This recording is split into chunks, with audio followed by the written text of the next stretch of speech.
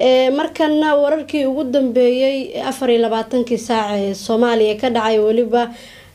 caalamka intiisa kale waxaa soo koobaya maxamed cabdi xasan afgooye oo barnaamijka qeyb ka ah. Maxamed. Dowladda federaalk soomaaliya ayaa eedeyn kulul waxay u jeedisay dowladda kenya. Dowladda federaalk soomaaliya ayaa eedeysay dowladda kenya in maleeshiyaad ay soo hubeysay in ay weeraraan degmada beledxaawe ee gobolka gado halkaas oo habeen hore iyo shalay uu ka dhacay dagaal ciidamada dowladda ay la galeen ciidamo uu watay wasiirkii hore maamulka jubbaland cabdirashiid janan. War-saxaafadeed ka soo baxay wasaaradda arrimaha dibadda soomaaliya ayaa waxaa lagu sheegay in weerarkii ka dhacay degmada beled xaawo ay si geesinimo leh ay isaga difaaceen ciidamada dowladda islamarkaana halkaasi ay ku beenooday gardaradii iyo sidoo kale damacii qaawnaa ee dowladda kenya ay ku dooneysay in si toos ah ay u maamusho qeyb ka mid ah dalka soomaaliya ayaa lagu yiri war-saxaafadeedka ka soo baxay wasaaradda arrimaha dibadda soomaaliya dowladda federaalk soomaaliya waxay cadeyneysaa in maleeshiyo ay soo hubeysay dowladda kenya ay weerar qaawan ku soo qaadeen degmada beled xaawe ee gobolka gado si kasta.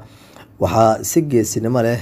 iyo wadaninimo ay ku jirto weerarkaasi uga hortagay ciidamada xoogga dalka soomaaliya ayaa lagu yiri war-saxaafadeedka waxaana sidoo kale lagu sheegay waxaana halkan ku beenooday gardaradii iyo sidoo kale damacii qaawna dowladda kenya ay lahayd. Dowladda federaalk soomaaliya waxay cambaareyneysaa in isku daygan fashilmay oo dabada ay ka waday dowladda kenya uu fashilmay gebi ahaanba. Dad ku dhaawacmay dagaalkii degmada beled xaawo ka dhacay ayaa magaalada muqdisho la soo gaarsiiyey dowladda federaalk soomaaliya ayaa magaalada muqdisho xalay keentay in ku dhow labaatan ruux oo isugu jira askar iyo dad shacaba kuwaas oo ku dhaawacmay dagaalkii degmada beled xaawo ku dhex maray ciidamada dowladda iyo sidoo kale ku maamulka jubbaland.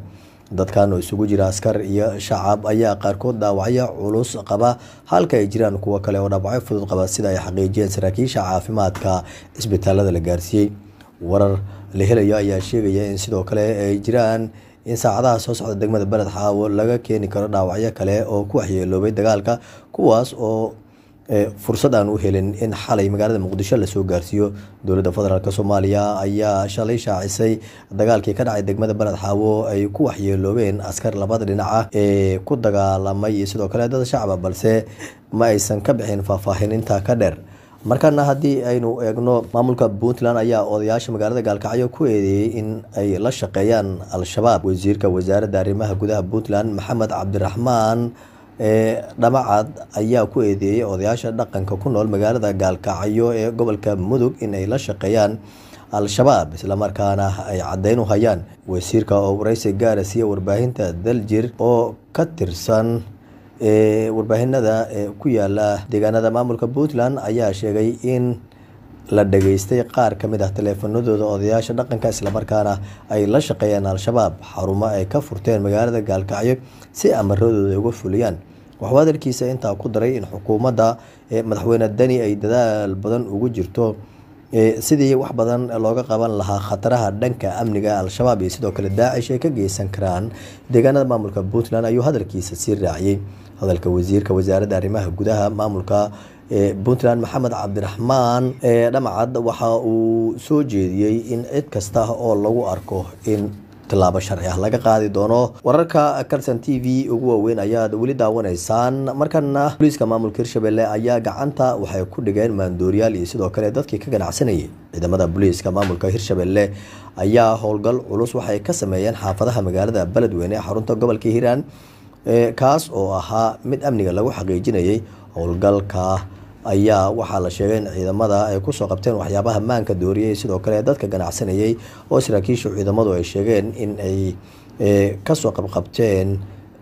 magaalada beledweyne gobolka hiiraan taliyaha booliiska hirshabelle korneel xasan dhicisow xasan oo howlgalka hogaaminaya ayaa sheegay in qamriga iyo sidoo kale waxyaabaha kale ee maanka dooriya ay qeyb ka yihiin dhacdooyinka amni darro ee ka dhaca islamarkaana ay ka hortegayaan waxa uu ka digay dadka ka ganacsada waxyaabaha maanka dooriya inay ka waantoobaan haddii kale sharciga la marin doono.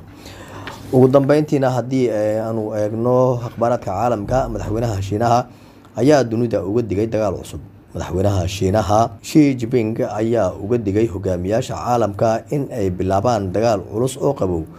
Waxa uu ku booriyey midnimada dalalka caalamka in la dhiso goobo yaryar ama la bilaabo dagaal qabow oo cusub in la diido loo hanjabo ama la cabsi geliyo dadka kale. Waxaa keliya dunida ay ku raaxeysanaysaa kala qaybsanaan ayuu madaxweynaha dalka shiina ku sheegay shir jaraa'id oo uu qabtay. Isagoo ka duulaya dhaqdhaqaaqyada lagu bartilmaameedsanayo shiinaha ee ay bilaabeen maamulkii hore ee mareykanka donald trump ayuu sheegay madaxweynaha dalkaasi in iska hor imaadka had iyo jeer uu ku dhammaan doono waxyeeleynta danaha qaran kasta iyo sidoo kale hurinta daryeelka dadka. Madaxweynaha dalka china waxaa kaloo uu sheegay in arintaasi aysan jirin ciddani ay ugu jirto. Guud ahaan daawadayaal warkii aad kala socoteen calson t v xaruntiisa magaalada muqdisho waa